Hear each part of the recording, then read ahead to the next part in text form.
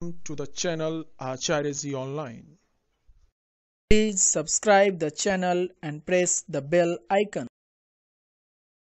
आज महाभारत पुस्तक के अंतर्गत अध्याय नौ तीखे वो पाठ पढ़ेंगे यवन हम सभी जानते हैं कि इस पृथ्वी पर जितने भी जीव जंतु या जो भी है उस सभी को ईश्वर ने बनाया है ईश्वर सभी चीज़ जो भी हम देखते हैं, जिस चीज़ का अनुभव करते हैं, जो अदृश्य है, उस सभी को ईश्वर ने बनाया। ईश्वर तो बनाया, लेकिन सभी चीज़ जो जिसके अंदर है, वो सभी ईश्वर के दिया हुआ है।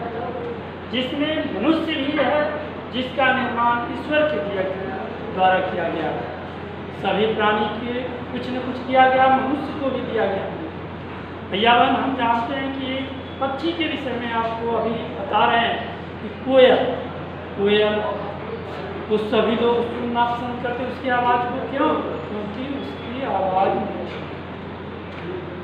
या हम मनुष्य भी है।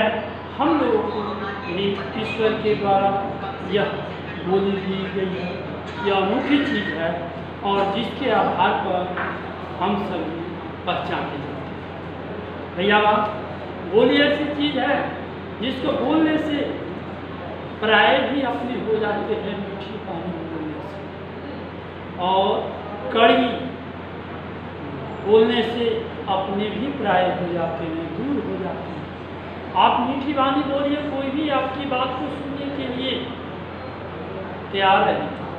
और जैसे ही आप कड़वी बोलिएगा, कर्कश आवाज़ बोलिएगा, आपसे सभी दूर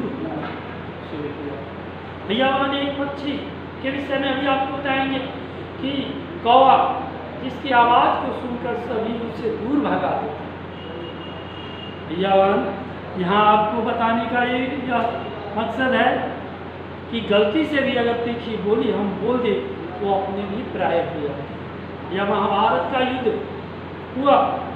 महाभारत पुस्तक आप पढ़ रहे हैं, इस पुस्तक में महाभारत के विषय में सारा महाभारत का युद्ध भी हुआ, इसके कई कारण थे। जवान महाभारत का युद्ध हुआ, इसके कई कारण थे, उसमें एक कारण तीखी बोल तीखी बोली के कारण भी महाभारत का युद्ध जैसा कि भैया मान आप देख चुके हैं कि वनवास की अवधि पूरा, वनवास की अवधि पूरा करने से लक्षागिरी से जब पांडव बच कर आ गए, पता चल गया कि वह अभी जीवित है। अब वह वापस बुला दिया गया यज्ञ। युधिष्ठिर के द्वारा राजस्व यज्ञ करने के लिए किया गया सभी। और उस यज्ञ के लिए वह इंद्रप्रस्थ को सजाई यवान ऐसी सजाई गई जैसा कि स्वर्ग पूरी। सभी चीज़ को वहाँ सजा दी गई भवन, बाज़ार हो, गलियाँ, सड़कें, उद्यान, सरोवर, दुकानें, सभी स्वर्णमय दिख रहे थे। एक से बढ़कर एक दिख रहे थे। महल को भी सजा दिया गया। उसको सजाने के लिए चतुर कारीगरों को बुलाया गया तो कारीगर इस तरह सजाए थे। जिसका वर्णन नहीं किया जा सकता। भैया वहाँ उसमें चमकते कीमती कीमती पत्थर उस भवन में लगाए गए थे। जहाँ पत्थर दिखता था, वहाँ ऐसा मालूम पड़ता था कि यहाँ पत्थर है, लेकिन वहाँ पानी भैया जहाँ रंग बिरंग पत्थर दिखाई दे रहे थे, वहाँ पानी राजभवन को स्वप्न लोक की तरह सजाया गया था भैया और ऐसा मानिए कि वह अद्वितीय भैयावान, आँगन के बीच में रंगीन जल इस तरह सुभरमान थे, जो दिख रहा था कि रंग बिरंगे या पत्थर जड़े हुए। भैयावान, उस जग को देखने के लिए दुर्योधन भी अपने मामा सपनी के साथ आए थे। भैयावान राजमहल को वह मामा के साथ और सजावट इतनी सुंदर लग रही थी, जिसका वर्णन नहीं किया जा सकता। लेकिन दुर्योधन ईर्ष्यालु था और उसके अंदर ईर्ष्या था और ईर्ष्या के कारण वह दृश्य उसको अच्छा नहीं लग रहा था।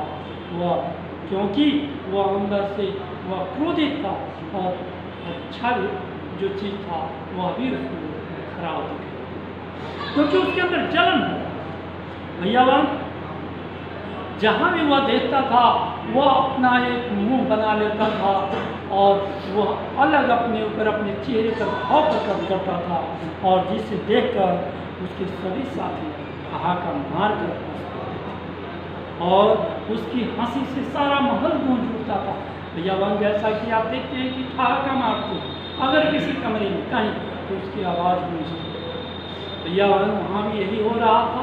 और इस चीज़ को वह महल में गूंज रहे जो आवाज़ जो महल में गूंज रही थी, उसको द्रौपदी खिड़की से देखा भैयावान आज यही देखिए कि वह राजस्व यज्ञ किया जा रहा था।